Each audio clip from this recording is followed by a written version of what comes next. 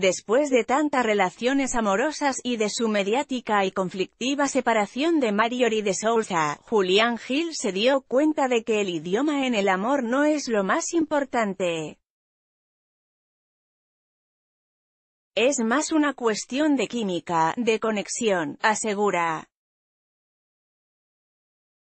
Por eso el actor de origen argentino no se lo pensó dos veces cuando Televisa le propuso viajar a Rusia en el marco del Mundial de Fútbol para protagonizar un show de telerrealidad con el objetivo de encontrar a su media naranja. Y parece que el antagonista de Por Amar Sin Lai, Univision, ya dio con la mujer de sus sueños.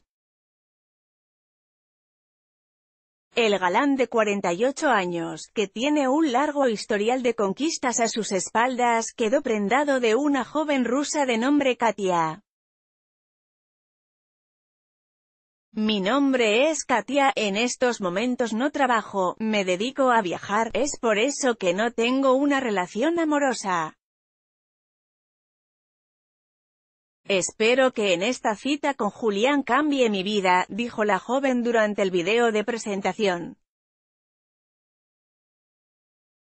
Julián y Katia protagonizaron una cita de lo más romántica y divertida a pesar de que Gil no entendía nada de lo que le intentaba decir la hermosa mujer.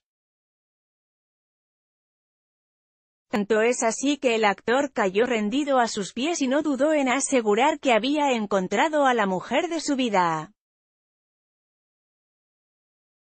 Suscríbete a nuestro boletín, me enamoré, me enamoré porque un beso no significa todo en la vida, lo que significa es quien te lo dé.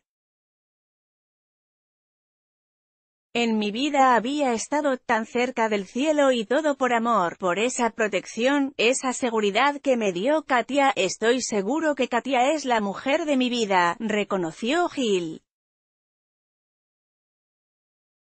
¿Será que la historia de Julián y Katia llegará a un buen puerto o la joven pasará a engrosar la larga lista de mujeres que han pasado por la vida del cotizado galán? También, Cabe la posibilidad, como se ha asegurado mucho en las redes sociales, que se trate todo de un montaje para televisión por lo que nada de lo vivido entre ambos sería real. ¿Qué opinas tú?